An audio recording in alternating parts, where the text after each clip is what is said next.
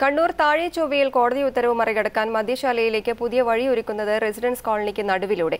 കുന്നിടിച്ച് നടത്തുന്ന നിർമ്മാണ പ്രവർത്തനങ്ങൾക്കെതിരെ നാട്ടുകാർ കളക്ടർക്കും എക്സൈസ് കമ്മീഷണർക്കും പരാതി നൽകി. ദേശീയപാതയിൽ നിന്നും അഞ്ഞൂറ് മീറ്റർ അകലം പാലിക്കണമെന്ന കോടതി ഉത്തരവിനെ തുടർന്ന് ഈ ബാറിൽ ഇപ്പോൾ മദ്യം വിളമ്പുന്നില്ല. എന്നാൽ കോടതി ഉത്തരവ് മറികടന്ന് പുതിയ വഴി ഒരുങ്ങുന്നത് ബാറിന് പുറകിലുള്ള നൂറ്റൻപതോളം വീട്ടുകാർ താമസിക്കുന്ന സ്നേഹതീരം റെസിഡൻസ് കോളനിയിലൂടെ. ഇത്രയും കാലം സന്തോഷത്തോടെയും സമാധാനത്തോടെയും ഒരുമിച്ച് ജീവിച്ച ഈ നാട്ടുകാർ ഇന്ന് തീർത്തും നിരാശരാണ്. ഇതിനോട് തൊട്ട് തന്നെ ജനങ്ങൾക്ക് വീടുകൾക്ക് ദോഷം വരുന്ന ഒരു നൂറ്റമ്പത് വീടുകളെങ്കിലും ഇതിന്റെ പിന്നിലുണ്ട്. അതുകൊണ്ട് ഇത്രയും കുടുംബങ്ങളെ മുഴുവൻ നശിപ്പിച്ചുകൊണ്ട് ഒരു വ്യക്തിക്ക് വേണ്ടിയിട്ട് ഒരു വ്യക്തി സമ്പാദിക്കാൻ വേണ്ടിയിട്ട് ഞങ്ങളെ നാട് നശിപ്പിക്കാൻ പറ്റില്ല. കുന്നിടിച്ചാണ് ബാറിലേക്ക് അഞ്ഞൂറ് മീറ്ററോളം പുതിയ വഴി വെട്ടിയത്. പ്രദേശത്തെ മുൻ നഗരസഭാ കൗൺസിലറാണ് വഴിയൊരുക്കാനായി സ്വന്തം സ്ഥലം ബാറുടമയ്ക്ക് നൽകിയത്.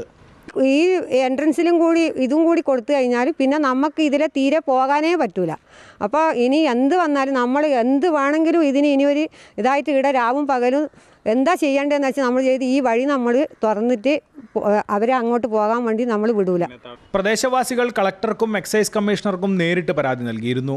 തുടർന്ന് അധികൃതർ സ്ഥലത്തെത്തി കുന്നിടിച്ചുള്ള നിർമ്മാണ പ്രവർത്തനങ്ങൾ നിർത്തിവയ്ക്കാനും ആവശ്യപ്പെട്ടിട്ടുണ്ട്. എന്തൊക്കെ സംഭവിച്ചാലും മദ്യപർക്ക് സഞ്ചരിക്കാൻ തങ്ങളുടെ പ്രദേശത്തുകൂടെ വഴി വിട്ടു നൽകുകയില്ലെന്ന ഉറച്ച തീരുമാനത്തിലാണ് ഇവർ. ഏഷ്യാനെറ്റ് ന്യൂസ് കണ്ണൂർ.